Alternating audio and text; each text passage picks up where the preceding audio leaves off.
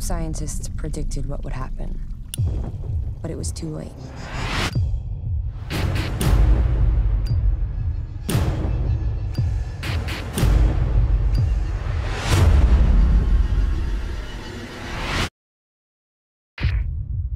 This is Sam Walden. If anyone can hear this broadcast, I'm still on Earth.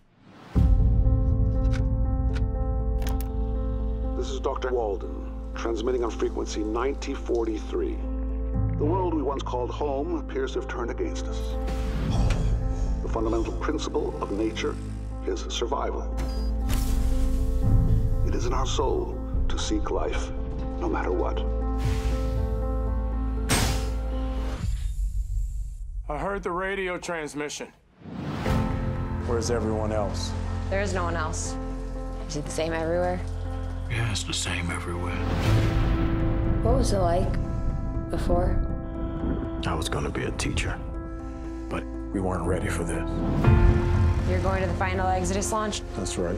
For my dad, leaving was just a last resort. I saw dozens of people starve to death because of hope.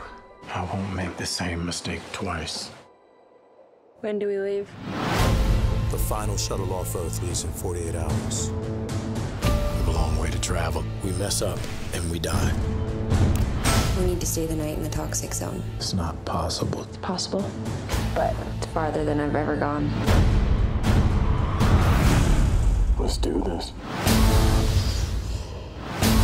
They moved the launch site. We're stuck here! We can make it.